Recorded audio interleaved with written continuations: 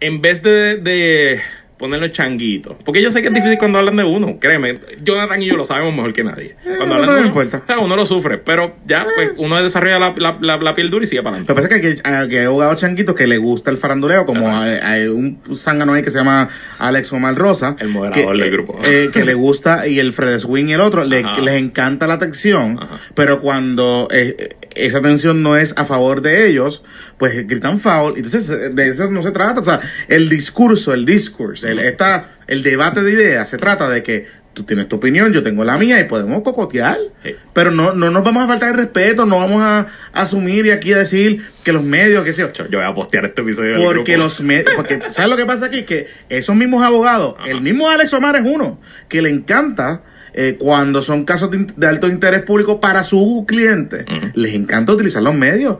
Porque aquí que él no me venga a decir que cuando transmitieron un caso que él depuso, que creo que fue una vista del apelativo, no, no recuerdo qué es, que él era uno de los abogados de las partes, él no se lució porque había en cámara.